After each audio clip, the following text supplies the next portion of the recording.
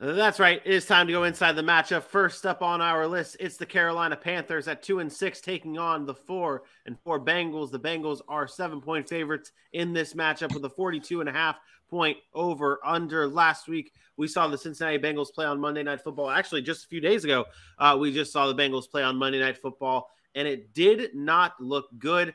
Aaron, you and I were doing the recaps for this game. AJ, you were not there, so I'm going to go to you first here on the Bengals side of things. Uh, what's what's the fix to, to the Bengals here? Is it a, is it a simple fix to to bounce back from from Monday's matchup?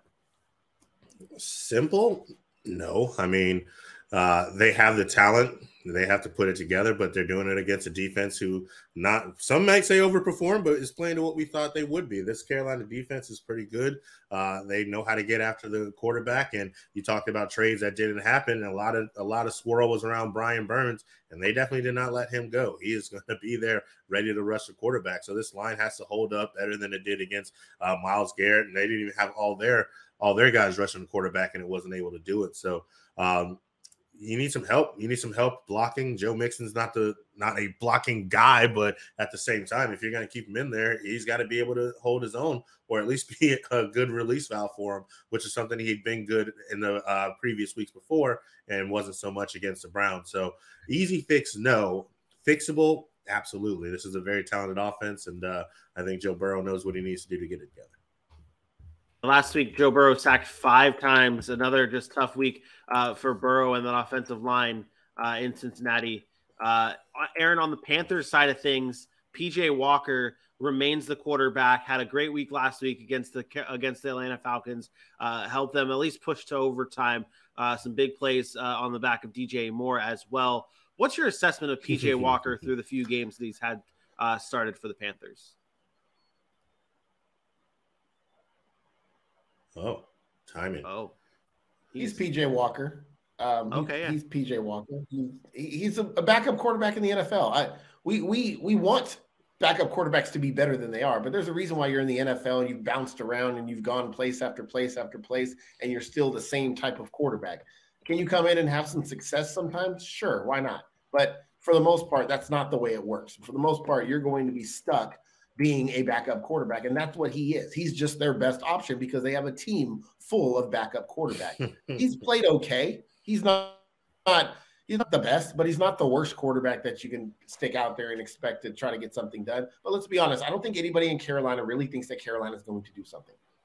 We can talk about they're trying hard and they're they still want to win games. All those things are true but there are still realistic expectations as coaches, as players in the NFL, when they look at their roster and they look at their team and they go into each Sunday and say, This is what we are trying to do. They know they're not Super Bowl contenders, but they want to do what they can to see what kind of young talent they have, what they want to do to, to get their next contract if you're a player. Um, and that's okay. It's okay to be realistic. And PJ Walker is just a realistic backup option that is the best for them right now.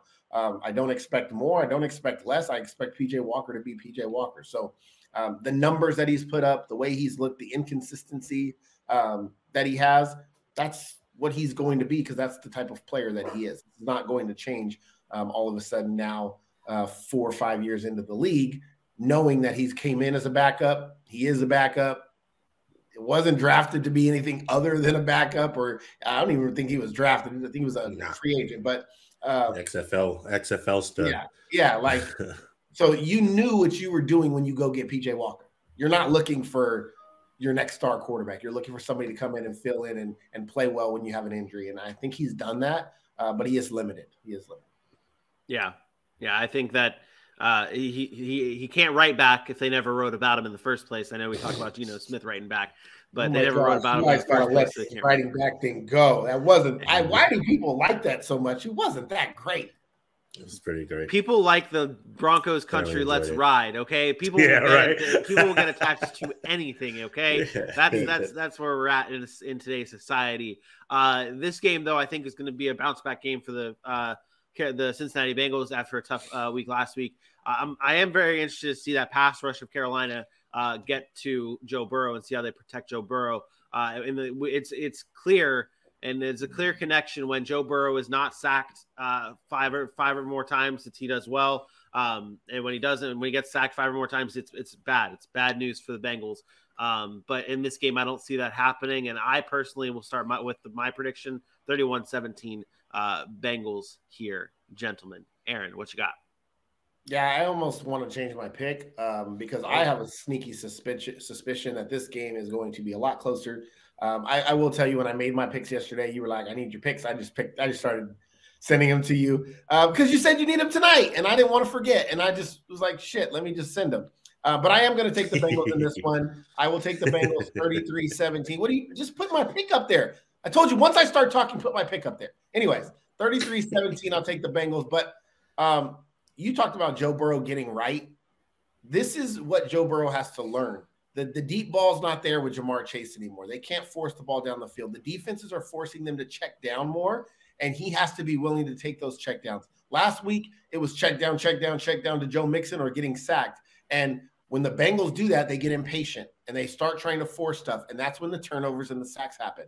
Um, I'm not putting all of these sacks on on the offensive line. A lot of those are Joe Burrow wanting to force the ball down the field and holding on to it too long. Um, I get it when it's nobody blocks Myles Garrett and he gets after him in the second and a half.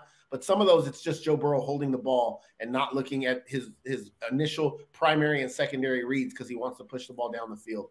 Um, so I have some concerns there, but I think the Bengals are a better football team. I will take them 33 17 but that score is probably not what it's going to be. I think it's going to be a lot closer than that. Yeah, it's probably going to be something like the Bengals 31 to 24. That seems right in the area of where it should be.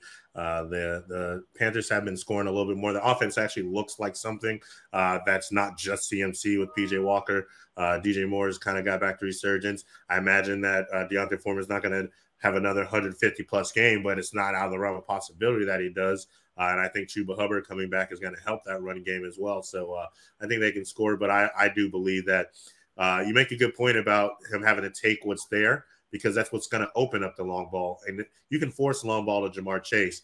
Tyler Boyd either needs busted coverage or for them to kind of forget about him because they're focused on a couple other things. And if you take those checkdowns, if you take those easy across the middle field shots to Tee Higgins and your big body receivers, Tyler Boyd can get open, get loose downfield. And I think you see that happen a few times this game.